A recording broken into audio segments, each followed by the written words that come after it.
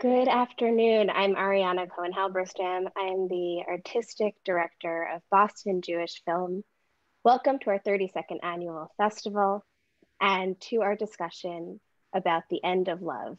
I want to thank our community partners, the French consulate in Boston and the Israeli consulate as well. Um, it is now with great pleasure that I introduce Keren Ben Rafael, um, the filmmaker of today's film, who is joining us from Israel, where it's, as you can see, at the middle of the night, or, or later at least, it's dark there. No, it's not middle of the night. It's uh, 7.30 here. Okay. Hi. Happy to be with you. Thank you for joining us. So this is such an interesting film to be watching in this period. Um, you know, I watched it right when lockdown was starting, um, and since then, we've all gotten very used to communicating with family and with friends and loved ones through screens. Um, you shot this before this all started. Um, where did you come up with this idea for this film? And how did you decide to make the entire film uh, through these screens instead of through typical sort of filmmaking? Um, so the, the idea uh, came, it, it's, it's quite personal. It came from um, experience that I lived. I'm uh, Israeli and married to a French guy. And uh, in one period, uh, um, I mean, it happened to us a lot to be in different countries, as happens a lot when you are um, from two different cultures and, uh, and countries. And um, in one period, uh, uh, we had our daughter. She was um, almost one year old, and I was stuck actually in France, and my husband was in Israel, and um, and we were skyping a lot. I think you Skype even more when you have a child because uh, you want to show, and. Um, this period showed me like it was really interesting and i think the idea came there because i felt how when we end the conversations, we both of us stay with this kind of feeling of solitude. Um, and I think something interested me in this, uh, you know, difference between feeling really that you are together and then suddenly, poof, you know, you cut it off. And, uh, and um, it took some time for the idea to really like become um, this project. Um, and I think it really was when we understood that it has a more like a global thing about couples today, because even before uh, the COVID and the lockdown and all that, couples today, you know, we communicate a lot through uh, through screens, whatever it will be, even if it's not uh, video calls, then it's uh, you know we send each other stuff and photos and that, it, a lot everything passes through the screens. So I guess I knew that there is something um, that is worth investigating when I understood it has a more global thing about couples today.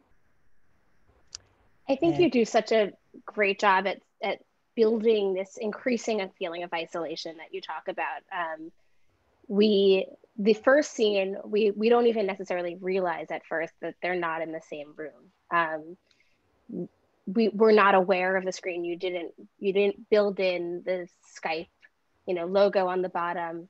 Um, they have the same color bed sheets. We think that they're in bed together, and then we see he's only in the next scene in the in the distance in the in the reflection in the mirror. Um, what were the challenges, and sort of how did you work to using the same uh, medium of the of the screen work to build this feeling of isolation? And what were the challenges in doing that that were different from your other experiences in making film? Um, it's very different uh, to make the film like this. What was quite, um, I mean, it, it, it, it was a challenge, but a very um, successful challenge, I'd say, in the sense that it was a, a challenge that pushed me to find um, uh, you know, solutions. Because um, the idea to um, not to have, uh, like not to show the computer, but to be actually in the point of view of, you know, of the Skype, of the computer, of the phone. this is this is where the camera is always and this idea came um, almost from the beginning so we were writing the film already like this you know you have i mean and it's so different because the first challenge is when you realize that you cannot you know you, you want to tell a story and you want the characters to be round enough you know and um, very um, you want to tell stuff about their lives and their families and all this but you cannot include everything since you are uh, um, only showing from one point of view you know for example julie she's all the time in her apartment and how can you show something about her life outside? So already while writing um, the challenge is uh, really interesting and uh, and uh, it yeah it's influenced from the beginning. And uh, later on when we were filming what was really important for us was that um, it, it was we didn't want you know to show like the problems the technical problems you can have on skype you know out of focus or mm. uh, i don't know we wanted on the contrary i mean to to have it more cinematography you know more cinematic um, so we were looking on the one hand to have the shots um, like that you can imagine that it's a computer shot you know that it's in the right uh, place and uh, but um, you know maybe to have some kind of background or lights that are suddenly showing or mirrors there are some play mm-hmm. with mirrors in the film stuff that can give you the feeling that maybe you can forget sometime you are in a video call and just feel like you're in a film. And in this sense, the first scene is a really good example because it's um, I, when I was filming it, I knew I want you know to uh, bluff in a way. I want you to think that they are together. This is why, of course, uh, the right. same sheets and the same kind of way of lighting and all that and um, and uh, so so it gives you this feeling that that they are intimate, which a feeling that you can have when you Skype. By the way, you can feel very intimate when you're skyping, and then buff. No, actually, uh, they're not together. Right. And, and and we do i mean i think that that's why it works so well is that we do feel that intimacy in that first scene and then um, we slowly sort of see it drifting away and we're almost you know the first time he calls her and, and she's not there i felt very disappointed and angry. And i'm curious because this is somewhat based on your own experience and i you know maybe initially thought that you know i wonder if you're who which characters you felt closer to um, as an israeli who was living in france but also as a mother who had her husband living far away. Yeah, I think um, it's funny because the, the, I, I don't exactly know why. I, I do know why we inversed it, why I didn't do it like in our couple, but I guess it gave me something, um, it gave me a good um, position because in that way I can really understand both of them because I, I, um, of course, I can uh, relate to the Israeli and to his family, to this problem that we can have in Israel, to have a family that is, on the one hand, really, you know, warm and uh, present and, you know, like so, but on the other hand, it can be a bit uh, too much, you know, a bit suffocating. Mm-hmm. And, um, and, uh, but of course, I really also identify with the woman and being a mother, even though this is I, I don't have the same kind of um, we don't have the roles in the same way in my own couple. Um, I mean, it's not so black and white that the woman is always uh, with the baby and the man can do what he wants. But um, but of course, I can relate completely to um, to what it is also to have uh, children and to try to still uh, you know have a professional life and to also have a life life and uh, how like and it, it can be so hard especially when the kids are are young and um, and it, i think it's question that i ask myself a lot how to you know young how, how can you deal with the whole thing together? So a lot of these questions uh, as an israeli and as um, mom and as a woman and as maybe um, a, a you know a filmmaker uh, all these questions are questions that i ask myself and that came had an echo in the film in one way or another. Yeah the, the portraits of motherhood are really interesting in the film because his mother of course is the sort of overbearing but also very loving mother. His sister also you know has is this hippie mother who has this idea that goat milk will cure all. And but then her mother i think is a really interesting character because at first she seems so absent and then she has this breakdown at the birthday party. And then of course um, when she leaves lenny alone in the room we start to question her her role as a mother. What were you can you talk a little bit about the mother characters here particularly her mother um, yeah i think um, we really had this idea with the script writer that we were writing when we were writing together. We really had this idea to um, to, to, find uh, how to uh, speak about her about Julie's um, fears uh, through uh, giving the idea of what her childhood uh, was and what she doesn't want to resemble to. You know, like the um, portrait of this mother um, very lonely and also, you know, uh, that was not completely uh, a mother in a way, fam. I mean, she was n- not as as we expect anyway. Um, this is also was also a way to, um, yeah, to to show how what Julie doesn't want to become, and maybe also why Julie takes her so long during the film to really kind of like you know, scream it out and let it all go and just like say, fuck it, I'm doing what? Because I think for a very long time, she really tries to, um, you know, uh, to, to keep the family. And uh, also the idea in his side is that um, it's, I mean, I think what she loves in him is the fact that he's a family guy. And it's something that uh, because she didn't have it, it's something that attracts her in him from the beginning. Um, but she didn't know uh, how much his own family is going to, um, how much he's going to miss his own family. Right. And uh, for him suddenly to uh, be with his family, um, I guess it questioned him on a, you know, on uh, on which family uh, should I put first? You know, the one that my original family, the one that I come from, or the one that I create. And uh, I guess this is something that I feel that we ask a lot ourselves when we, um, you know, new parents.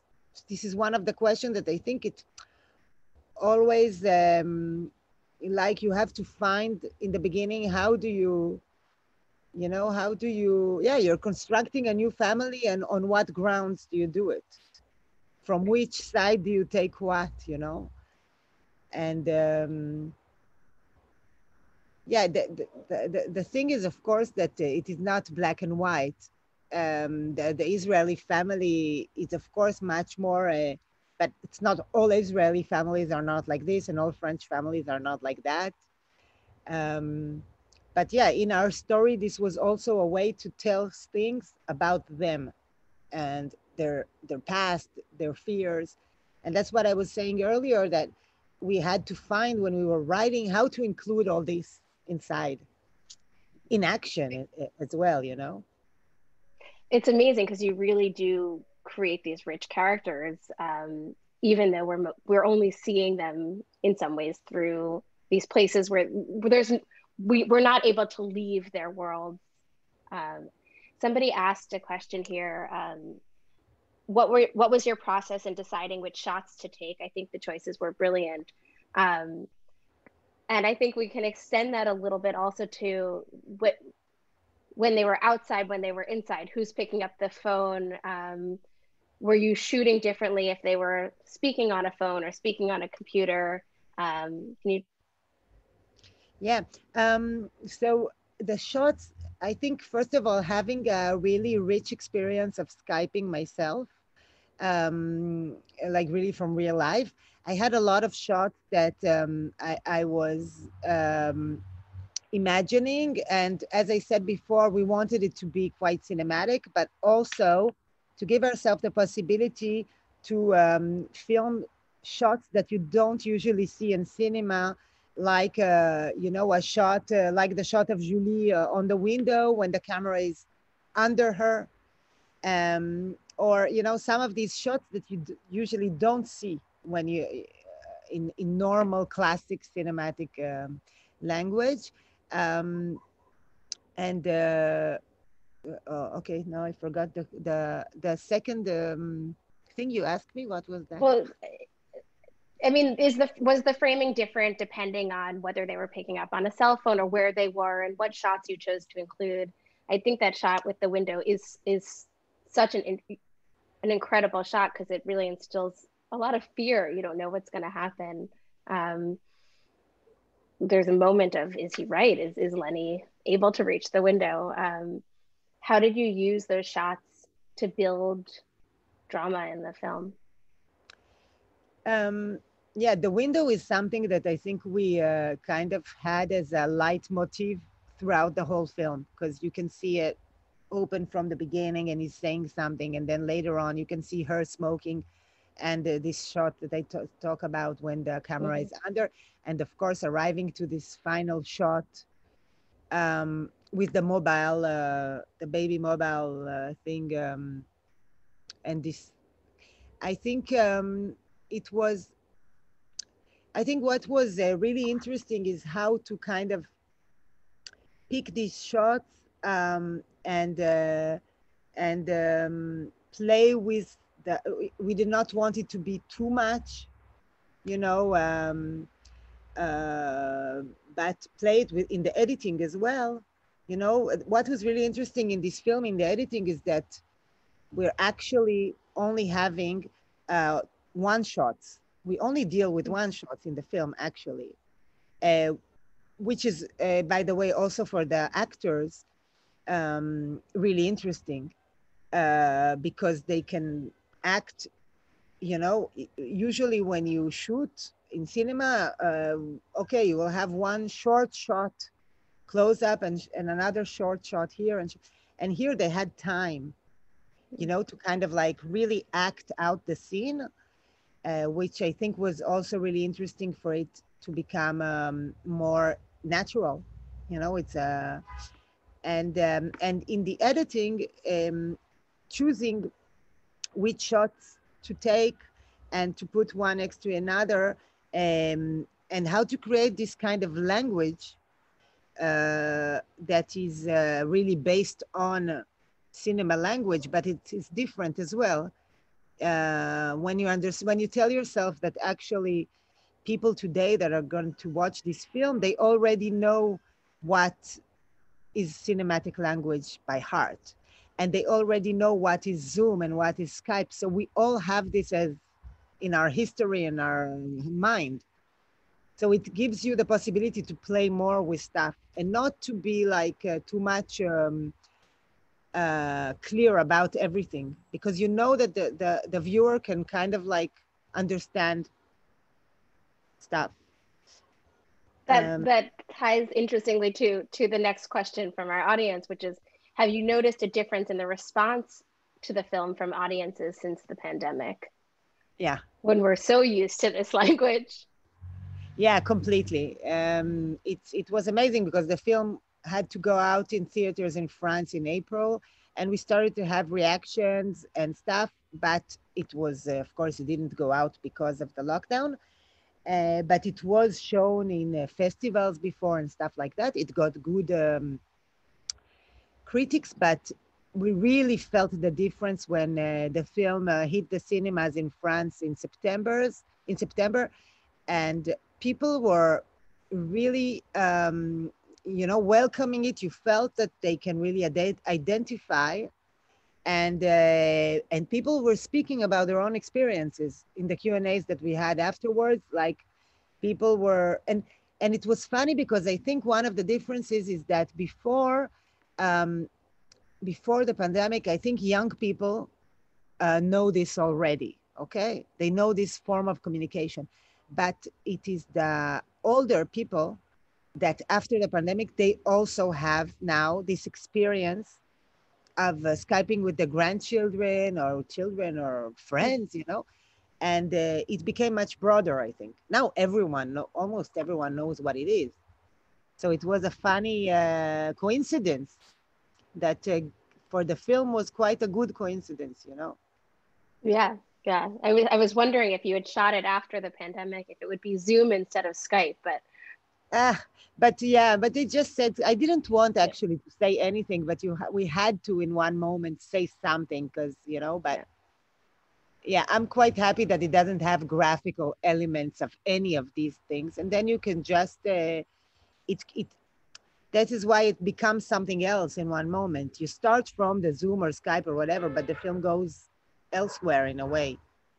Absolutely. I'm just curious when you were shooting was because it's they the actors were isolated. Um, were were they both eh, were they ever in a room together? And how how did you actually shoot the scenes? Yeah, it was a complicated uh, task, let's say, to understand how to do it. Um, what uh, because in fact, yeah, the only shot that they are really together is the last shot of the film. All the rest of the time, they're never really together, and of course, we wanted them to be together. Um, so what happened was that we uh, found a way to um, um, create uh, the Israeli room of Yuval, only the room where his room in Israel, and we created inside the French apartment. Mm. So in that way, uh, we started to shoot uh, that. That was the beginning of our uh, of our uh, shooting, and in that way, I could give the actors and to me as well a few days of um, of shooting together in some way because we had two cameras and um, each one of them had a small um, screen and um, and an ear uh, earphone how do you say? Earpiece yeah, yeah. Ear, earpiece. Um, so it was kind of like imitating the skype uh, mm. system. Of course they could not it was more complicated than that because they could not really look at each other all the time because there is stories of where to look and so it was more complicated than that but still it gave them um, a, a, really a real connection you know? Uh, and that was really important. So it was not all of the shooting but it was really important as the beginning of the connection uh, the funny thing is that um, actually the first time I, I saw uh, these two actors together, uh, it was by uh, Skype or Zoom or whatever. Um, since I was in Tel Aviv and she was in France and he's uh, Bel- Bel- Belgium. So he was oh, okay. in Brussels. Yeah. Um, and um, so we were yeah so the, we were all meeting like that. It was the kind of like not audition but you know when you try out to see if it mm-hmm. works together. And you know each one of them was in their own home home and uh, it was intimate immediately. You know you could see like his kitchen her living room whatever and it's like it's like they put each other in their intimacy immediately Mm. And uh, what was interesting is that from there, there on, um, they, uh, they, it, it never worked when they were really one in front of the other. It worked when they had the screen separating. I mean, if we try, when we rehearsed, if we try to do the scene just like that, when we were just sitting, the three of us and rehearsing, it, it, it didn't really work well and then, you know, when we were rehearsing, we just take some phones and each one in another room. And okay, suddenly the magic is there again. It's like they needed the screen. That's so interesting. And the, distance um, to make it work, you know. Uh, it was it was really yeah it was uh, strange and and even the first scene you know i um in one moment i wanted to uh, shoot them um, I thought maybe it will be easier if they will be in the same bed and we shoot it like that. And it didn't work. Hmm. I, they really needed to be in different spaces. Uh, yeah that's fascinating I mean, there, there have been so many articles about how we're going to lose our ability to communicate with people in person after this so that's a little frightening yeah um, there's a there's a question here from amy can you talk about the ending? And of course you end the film with the beginning so um, which is a really interesting choice. Yeah i think i might have kind of a flavor. I, I might like ending films in a way that you cannot that you have to kind of like tell decide where the film is going you know that i leave uh, the audience a little bit of um, you know of work in a way to do um, so the ending i think um, the, the the thing is that i wanted on the one hand i i didn't want to end with the end of the relationships um, and I guess in a way, um, it's funny because the film is called The End of Love. But for me, I was not even sure that this couple will not come back together, even after all this. Um, I mean, I, I have the tendency to think that in couples, we can pass really hard stuff and say horrible stuff to each other and still, you know, okay, especially when there's a child, by the way. Mm. So, um, I think uh, going, putting this um, uh, flashback scene in the end is also a way of kind of like opening the film to something with more hope.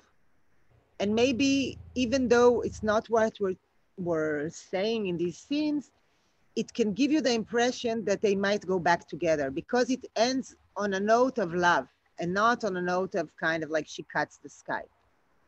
Another thing, of course, is that I really wanted to uh, cut uh, the Skype language. I wanted to get out of this um, claustrophobic, uh, um, you know, screen uh, uh, communication and and to have a real life or a real cinema scene in the end uh, with other lights, with colors, you know, something that is much more, um, yeah, cinematic and bigger than life like uh, memories are. Mm-hmm. Um, and what is very funny is that in France, um, the distributor uh, was not, um, he didn't want the film to go on the English title, The End of Love, because apparently it's not good for a French film to have an English title.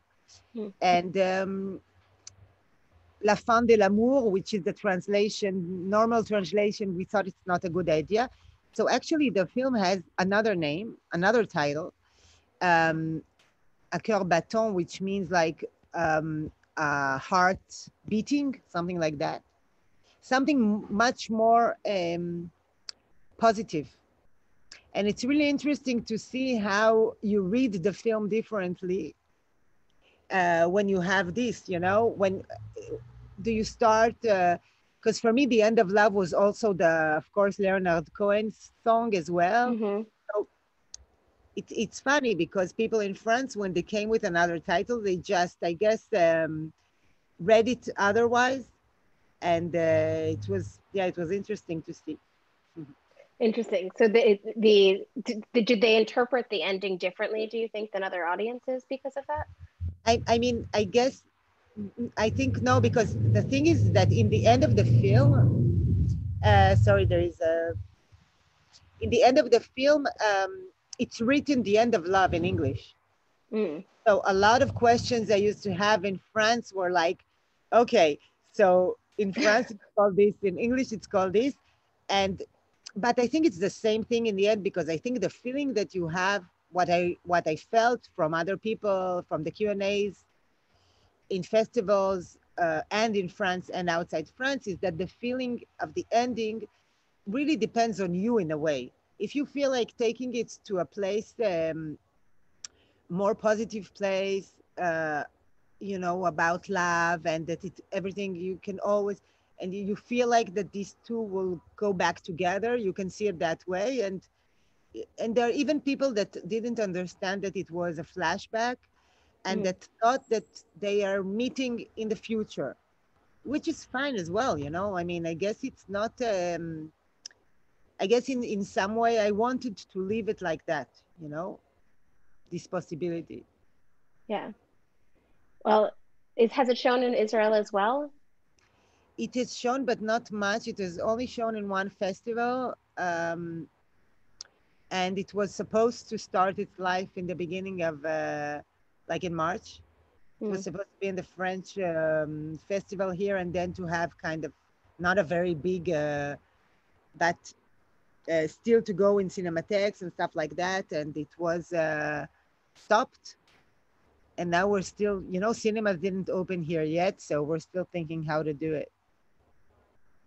Well it, it is one that's sort of an interesting one to watch from home um, in this in this virtual platform. There's one last question from from the audience from mary. The actors are great. How did you go about casting? And, and it was fun to see um, judith travella who was in um, a film that we showed here last year uh, my yeah. polish honeymoon so yeah um, yeah, they are really good actors, and I think I had a, a lot of luck with them. And what was really interesting in the casting um, uh, was actually more than Judith. What was really interesting was the the role of Arieh because I was actually looking for an Israeli that speaks French, and uh, there are not much in this, not in this age range and not in general you know. Israelis don't are not uh, french speakers not most of them. And then someone told me about this actor that i have seen in a film called girl a film a belgian film that had a very big success and he's act he's playing the role of the father in this film and someone told me listen you speak hebrew and i was like no way and and uh, it was amazing so the story is this guy he's Jewish and he went to uh, Jewish schools, but he's really from, uh, you know, he didn't live in Israel. He knows Israel, he was here. Um, and his grandfather, uh, that was born in Israel and then went to uh, live all his life in uh, Belgium, uh, he came back to Israel a few years ago. They live not far from me, his grandparents, and he is the guy that plays his grandfather in the film. Oh, wow. Uh, and, uh, and so, um, and what was really interesting when working with Arieh is that, you know, he had to kind of create an accent for the film because his normal accent is a Belgian accent, which is very strong. He can he can do very easily to change accent. In the beginning, he came with an um, Israeli accent in French, too strong and it changed the character it became like a macho violent guy mm. and it was really interesting because with him when we were working on his character um, we hardly spoke about the character we spoke about the accent all the time it was like either stronger or less strong and it was really and uh, yes you did it was um, it was one of the first ideas that we had, and we were lucky enough that it worked. And I think she has this. Um, I was really looking for someone that has a, the capacity of, um, you know, filling up the frame because she's really all the time alone, sometimes with the baby, which is a great casting as well, I think, by the way. but mm-hmm. uh, but she's all the time she has to kind of fill up the void you know it's it's hard to um, to do that and uh, this actress has this capacity of being uh, you always feel like she's thinking she has a lot of stuff in her head and you feel like she's really down to earth and in the same time she's kind of flying somewhere you know she has this very um, maybe something a bit fantasy. I don't know. She has this thing that is uh, really interesting. I think. Um, yeah. Yeah. It, it, it I mean, I was. I'm surprised that he wasn't Israeli and and um, and I, I don't speak French, but I it's interesting to hear that he had to do an Israeli accent on French, and and she's great. I think she it, she also plays a mother to a young child in uh, Polish in my Polish honeymoon, and um, and has the same sort of character um, characteristics there that you talk about. I think she's really wonderful. Yeah, um, yeah, she's a very good actress. Well, thank you so much for joining us today and and for sharing your film with us. It's um, it's one that I would have loved to show with a with a larger, you know, in a in a theater, but I think it's one that that really poses a lot to think about in this time. So it's really great to be sharing it in our first virtual festival. Um, and we look forward to seeing whatever it is that you do next. Thanks a lot. Really happy to be with you even if it's only by Zoom, but it's a way as well. yes, indeed, as we've seen in your film. So uh, thank you everyone for being here today, and we will see you hopefully tonight at our MidFest event. And we have two Q&As tomorrow afternoon, and we hope to see you there. Have a good afternoon. Have a good night, Keren. Goodbye. Bye.